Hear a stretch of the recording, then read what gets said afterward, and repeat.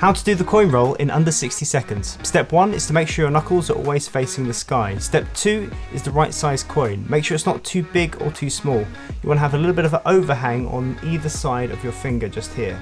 Step 3 is the roll. We grip the coin between the thumb and the index finger. The middle finger raises up, pulls down, ring finger up, pulls down, little finger under, delivers back to the thumb. We go again, middle, ring, little, back to the thumb. Slightly different angle, middle, ring, little, back to the thumb. We slowly build up speed, rhythm over speed, and that is how to do the coin roll in under 60 seconds.